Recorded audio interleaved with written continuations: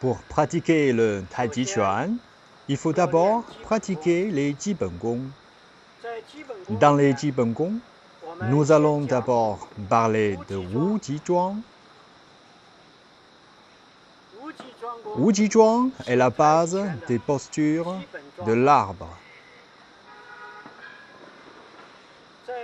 Quand on le fait, il faut d'abord positionner le corps bien droit, vider la tête et la tirer par une force venant du haut.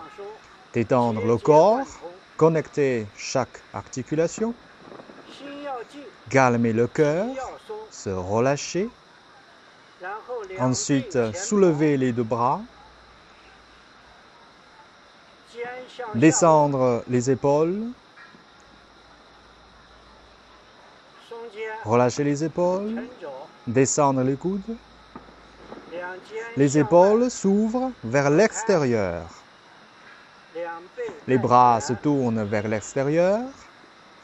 Les mains se positionnent devant le buste.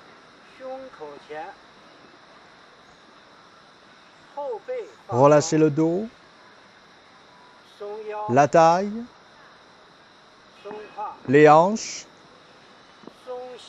les genoux. Détendre les articulations des genoux. Mais les genoux n'avancent pas en avant.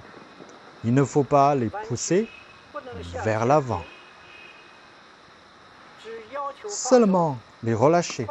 Cela suffit. Relâchez les chevilles jusqu'au-dessous des pieds. Sentir les pieds détendus et assouplis.